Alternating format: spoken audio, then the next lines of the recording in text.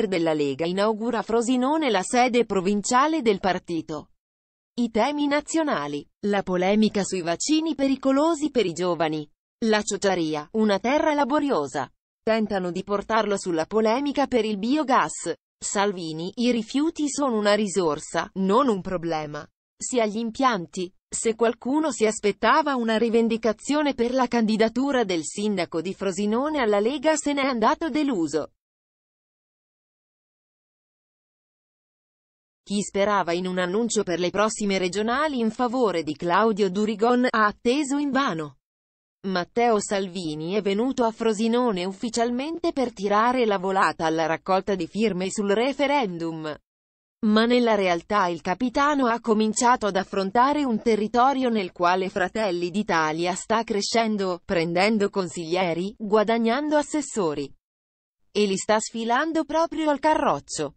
L'ultimo in ordine di tempo ad avere attraversato le linee del centro-destra è stato questa mattina l'ex capogruppo leghista al comune di Cassino Franco Evangelista. Leggi qui Evangelista abbraccia i fratelli. Ma non fa gruppo. L'appuntamento è nella piazza accanto al Monte dei Paschi di Siena, a due passi dall'Alberata di Frosinone. C'è gente, non la folla dei giorni migliori. Anche perché è luglio inoltrato, c'è un caldo infernale e l'appuntamento è per le 3 del pomeriggio. C'è la sezione provinciale cittadina della Lega da inaugurare, il partito torna ad avere un suo luogo istituzionale di confronto. La faccenda del nastro da tagliare si sbriga in un attimo. Il capitano sa che la gran cassa mediatica è un'altra.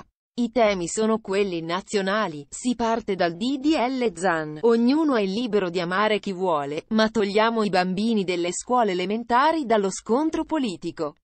E vediamo come finisce la vicenda di questo benedetto DDL ZAN.